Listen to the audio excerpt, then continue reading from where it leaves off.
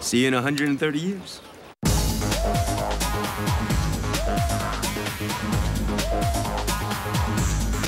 Look at that bad boy. We have a time breach in progress. What the hell is a time cop?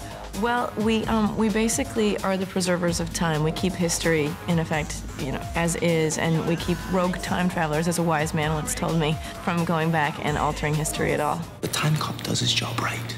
No one knows if he got it right except him. I, th- I think the qualities that make Ryan the time cop a hero is that there's a lot of human emotion involved. I think there's, I think it always comes down to that. Ryan, yes, I think Ryan is a classic hero. I think he's he embodies sort of the strength and the power, and um, he makes you want to be on his side because he's still got this really sort of sympathetic quality that, that makes you want to be a part of whatever team he's on. Not bad. We might actually pull this thing off. Jason is a lot like Ryan, I think, because uh, he brings another element. It's not the one-dimensional action hero. He's bringing humanity to his character, and he's questioning his what he's doing. Is it right? Has he bettered anything in, in the world? Jason is fantastic. He's really, he's just, he's a stellar human being, really, and he's so good at his stunts, and he's so good at, he's so good at making it real and kind of doing the faces, but keeping them very real, and he's so fast.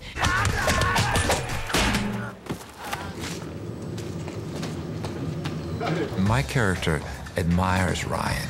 He he he wants desperately to Ryan for Ryan to see the world as he does. Brandon Miller, who's played by Thomas Ian Griffith, takes the other side of that, um, you know, equation and, and takes it to the extreme. Starting out as being a true altruist, that he would go back and right the wrongs of the past. What do you say we jump back in time to when man first decided to lock up all those deemed insane? Don't you want to know who made that decision? Miller, Miller's not a bad guy, I don't think, because he has a great cause. What he believes is if we have the technology to jump back in time, we have a responsibility to right all the wrongs of the past, which I think a lot of people can relate to, which gives the movie a lot of gray area. So it's not your typical black and white, oh, he's the bad guy, and he's on, you know, it's all about revenge. So there's something else. There's a, there's a bigger picture here. Thought you guys might need a little help on this one. There's, there's an actress named Tava Smiley that is playing uh, Jeffers, my partner. She's really cool. I mean, she, she, she's a very hard worker. She's worked so hard. She's never done action before. I'm an action babe. I think Tyler Jeffers is a little more than just an action babe, but yeah, I feel like an action babe. You are such a wuss, Edwards. Tava came in and auditioned for the role and just jumped out at, you know, I, when, when she walked into the, the first audition that we had, it, it, you know, she just jumped off the page with the words. Cut it, run it. Steve rocks. Our director is really great. I found out that he used to be a stuntman way back, and um, I think that makes him ideal for an action film director. Oh, we can do that better. Let's go again. They asked me to do the movie, and I've always been fascinated by time travel and, you know, the, the potential of going back and witnessing or, you know, affecting past. And, and uh, so when they asked me, I said, sign me up. I'm ready to go. And action.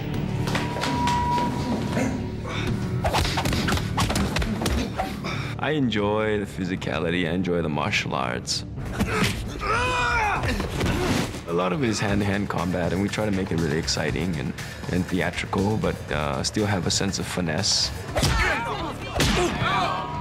I've worked a lot in the action uh, genre, and uh, I'm real comfortable with it. You know, I, I, studied Taekwondo since I was a kid. And, you know, you use all the skills you, uh, you, you, pick up in your career, and you can bring them to the next project. So I think uh, on this we can uh, we can pull them pull them out of a bag and have fun with it.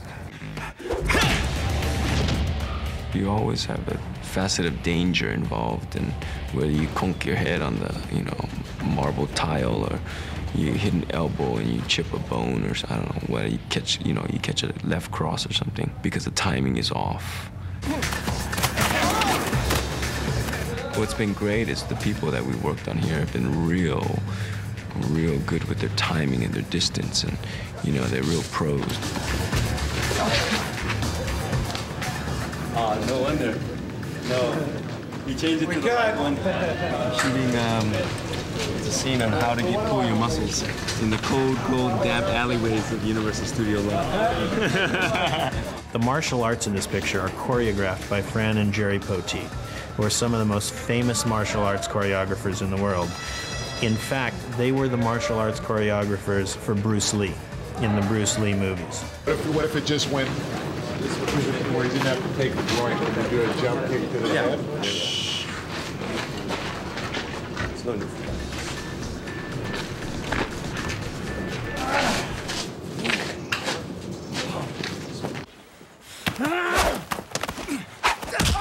Got together with them about a week before we started doing any action. And they basically did like a martial arts class with me. We did kicks and punches, and they showed me kind of your basics. And luckily for me, I had done a lot of Thai boxing classes, and I've never done a martial art where I was just trained in it. But I'm kind of comfortable with the idea of the kicking and the punching. And um, so, so Fran told me I was a natural. I think somebody paid her off. Um, this is Fran. This is Jerry's wife. These two are the masters of the martial arts. So That's you know out. what? Why don't you show us some stuff? Why don't you show us uh, a couple of your moves? It's a very reflexive kind of response. And I think it makes for very dynamic choreography and various things that you, you don't you haven't seen since maybe Bruce Lee. You- just just try to hit me, because I'm fast.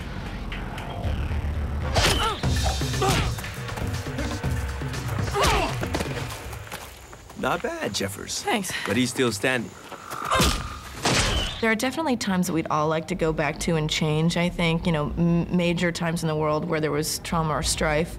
And, and the idea is the world wouldn't be what it is today. Not that we have a perfect world, but, but it could be so much worse. What I would give to be able to sit and talk with you, knowing what I know now. I mean, uh, time travel wouldn't be so amazing if we could really do it. Um, and I think that this movie, it's, it's, there's a lot of fun stuff. There's, you know, great sequences and great periods we go back to. But to be able to address a poignant question that is, you know what? What if we could do it? Would we go back and do, you know, change the world? And what would the result of that be?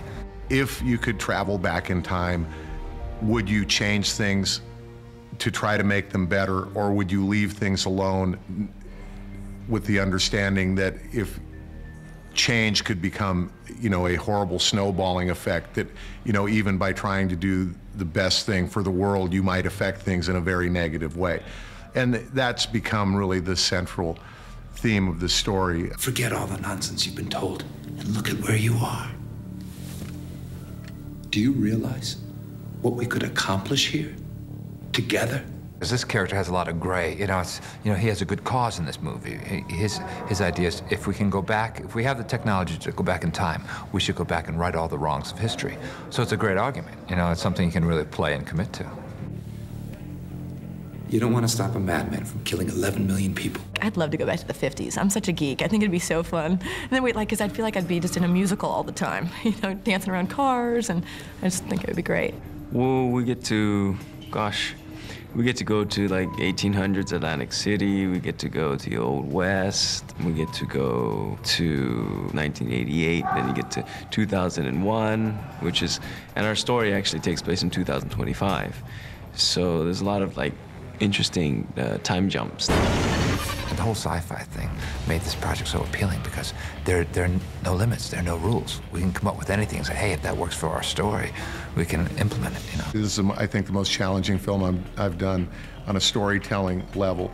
First of all, if you try to analyze for a moment what would happen if you actually went back in time and how you could affect things and, you know, just all of the nuances of time travel, which sci-fi nuts, I think, will really dig about this film.